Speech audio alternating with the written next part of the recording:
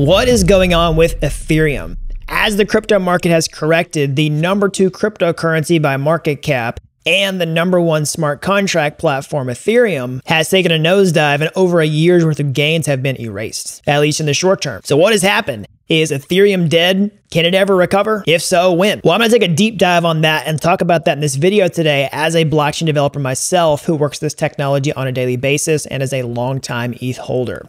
So if you're new around here, hey, I'm Gregory, and on the channel I turn you into a blockchain master.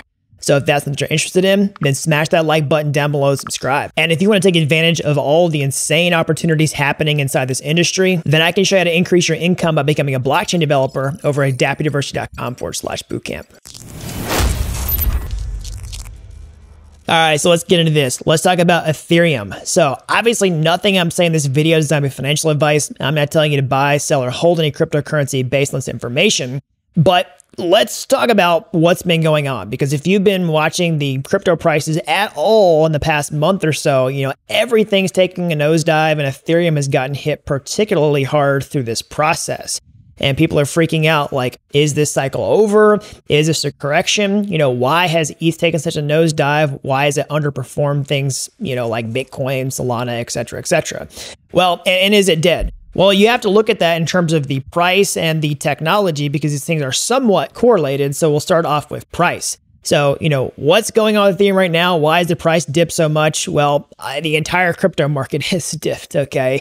And so has the stock market. And I think these two things don't look the same. It's not a coincidence, it's not an accident. There's still a lot of fears on the table about the broader health of the economy. There's lots of uncertainty with the change in new administration inside the United States, and I think that's causing a lot of panic in the marketplace, and that's trickling down to crypto itself. So why has Ethereum, you know, underperformed? Why did it barely even touch its prior all-time high and then correct, you know, about 50%? Well, honestly, the main reason is competition. Okay, you've got Bitcoin, which has really led the entire crypto market over the past past few years. We haven't really seen every single cryptocurrency follow up in tandem with Bitcoin like we've seen in prior cycles. So the cycles are changing. But also, if you look at altcoins, specifically alternatives, alt layer one smart contract platforms, Ethereum has a ton of competition. Okay. And during this cycle, you know, people have been speculating on Solana as like the next hot thing that's going to outperform Ethereum. It's going to eat its lunch. You've seen all the meme coin activity happen on there, all the adoption happen there. And so a lot of people, you know, were just flooding to that as an option, and that sucked away a lot of the buy pressure that might go into an asset like Ethereum when you're going further down the risk curve. Now, I think a lot of people have been a little upset at the gains at something like Solana as well, but that, in my view, is one of the biggest reasons we've seen the underperformance relative to something like Bitcoin is because of so much competition. So, what does that mean for Ethereum? Is it dead? Can it ever recover? Well, spoiler alert, no, I don't think it's dead, and yes, I do think it can recover for several reasons. Okay, and we're just talking about price. Okay, I don't think that the competitive aspect that you're seeing right now is going to be as big of a problem in the future. Okay. ETH still has a bright roadmap ahead of it, which I'm going to talk about here in a minute. It has a strong, compelling use case for why it can still be the dominant smart contract platform in the coming years. You know, Bitcoin's always going to be a household name, but I do think that ETH will have periods of outperformance in the future. And then finally, you know, like I was saying before, I think a lot of people were still pretty upset with the alternative layer one smart contract trade this time around. And you're going to see diminishing returns on that thing from cycle to cycle. And I don't think as many people are going to buy the fact that you're just going to have some amazing L1 that's going to outperform everything else. Too many people try to do that, and it's just too much risk. And so, with that being said, let's look at some of the positive fundamentals for Ethereum in the future. Because when I look at a correction like this,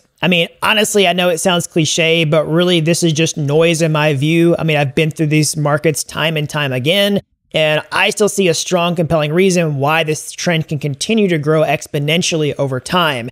I could give you a million different reasons, but I'm really just going to give you one sort of trump card that I think is going to be the biggest reason out of all the others. I could sit here and tell you that Ethereum's got some upgrades coming on the pike. It's got all these cool apps coming on it. It's got adoption, but but here's the real thing that you have to pay attention to. Ethereum is in the strongest position to corner the market on the number one use case for crypto that I believe has the strongest long term potential. Okay, that's huge. That's the whole point. So, what is that? Let me explain. Well, basically, it's what I'm just going to lump into a basket called on chain finance. Okay.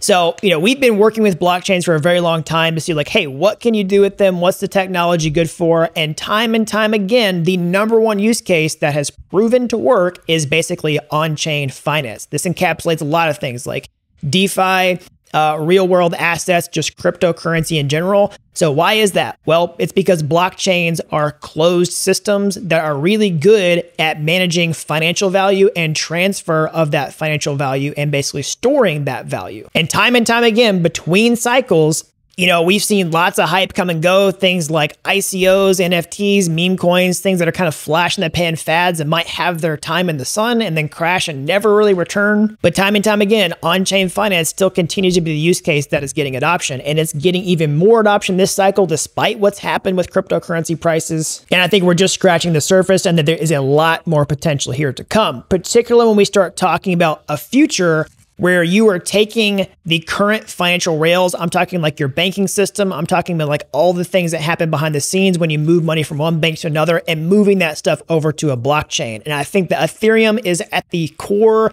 epicenter of that for when that transition happens that that's the most likely bet to where most of that activity is going to take place.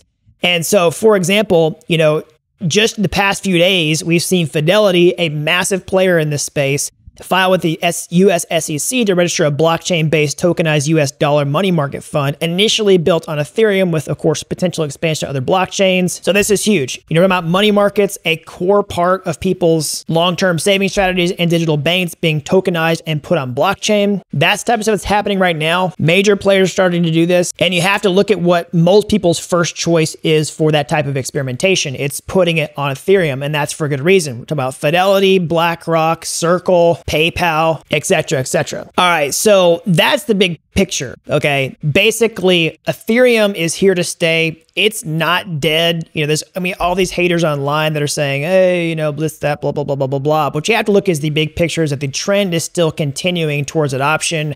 Big players are going into the space, and at that core use case for blockchain, which is undeniable, which is essentially, you know, internet finance, it's doing that and it's continuing to move forward.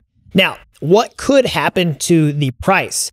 So, you know, like I said before, it sounds cliche. It sounds like, you know, weak sauce to say, say, well, this is just noise, right? When you see something that's like a 50% correction. But if you actually look at the trend over time, okay, the trend of Ethereum is still up and to the right when you look at sort of this line down here over time. And really what this is doing is honestly reverting back to the mean of this parabolic trend line up. I would say it's a little undervalued right now relatively, obviously not financial advice, but my you know, my bet is that this trend continues upward. If you look at everything that's happened along here, really these are just bubbles on this trend line as it's, you know, basically going up to the right over time. Now, when you talk about the actual technology itself, you know, when can we see the future of blockchain being what we want it to be, where, you know, basically the banking system is built on blockchain.